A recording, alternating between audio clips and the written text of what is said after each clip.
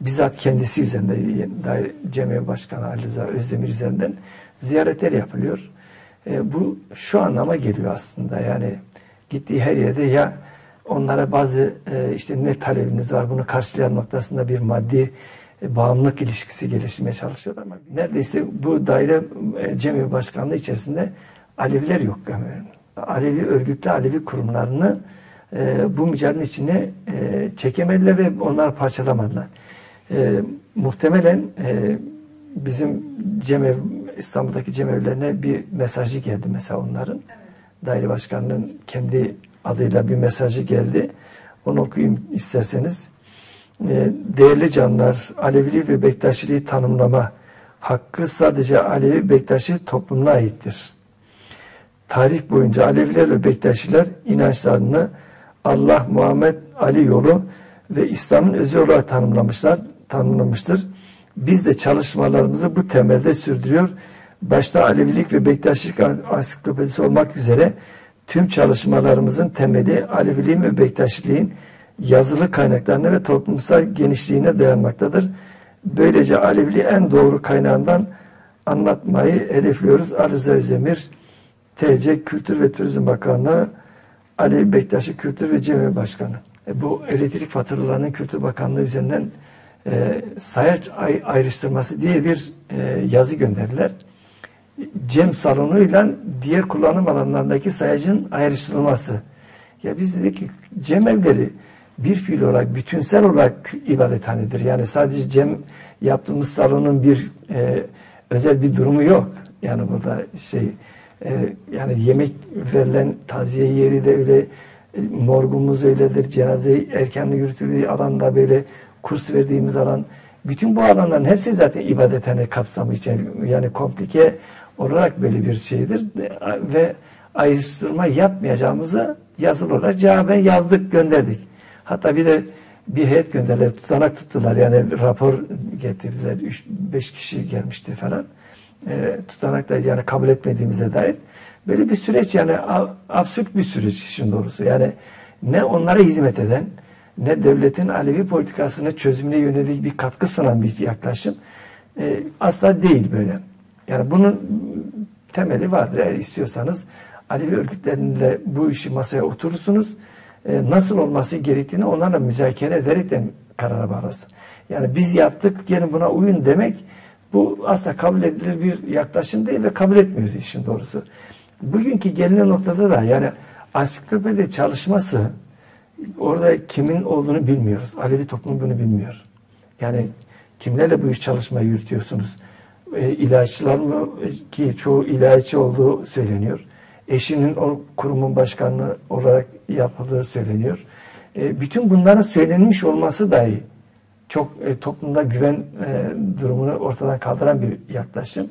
E, bu noktada e, kurumun bu çalışmalarını yapmış olması bize şunu aşağı yapıyor devletin bugüne kadar Alevilerle ilgili yaptığı asimilasyon politikalarının yeni bir boyutunu bize öngörüyor. O da şu, bazı Alevi değerlerini artık olması gerektiği değil, devletin nasıl bir Alevilik tanımlaması yapması gerektiğine yönelik bir çalışma bize e, önümüze sürülüyor ve do, dolayısıyla topluma bu model yani ansiklopedi üzerinden hatta daha da tehlikelisi şu e, Alevilere ait literatürün yeniden e, yeniden yayınlanması noktası.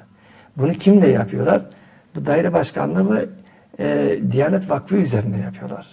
Şimdi dolayısıyla Diyanet Vakfı ve bu daire başkanlığı üzerinden yapılacak her türlü çalışma asla Aleviliğe hizmet etmeyecektir. Yani bunu çok açık ve net söylemek lazım.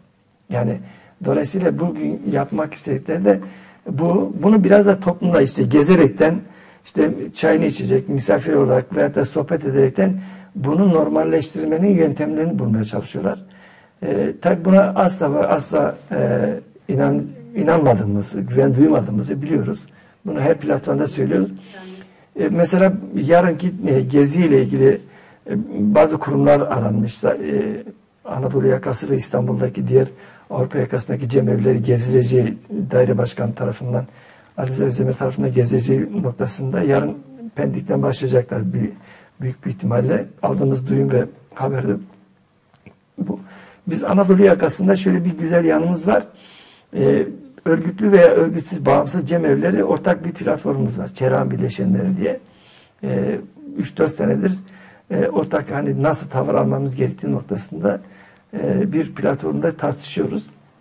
Bu konuyu da platform üzerinden tartıştık ve asla e, yani gelinen şey kurumu tanımadığımız, Alevliği ve Aleviliği tanımlamayan, tanımayan, cemevlerimizi ibadet olarak tanımayan bir e, kurumla bizim asla asla bir araya da gelemeyeceğimizi, onlardan herhangi bir talebimizin de olmadığı, e, bizim temel talebimizin Alevilerin eşit yurttaşlık noktasında eşit haklarını tanınması, cemevlerimizin ibadethane statüsünde tanımla, tanınmasıdır.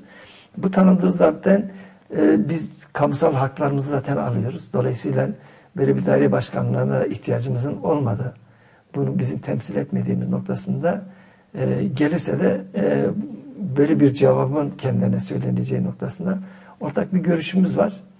E, inanıyorum ki bütün cemevi başkanlarımız da bu konuda aynı düşünceden o duyarlılık içerisinde davranacaklardır.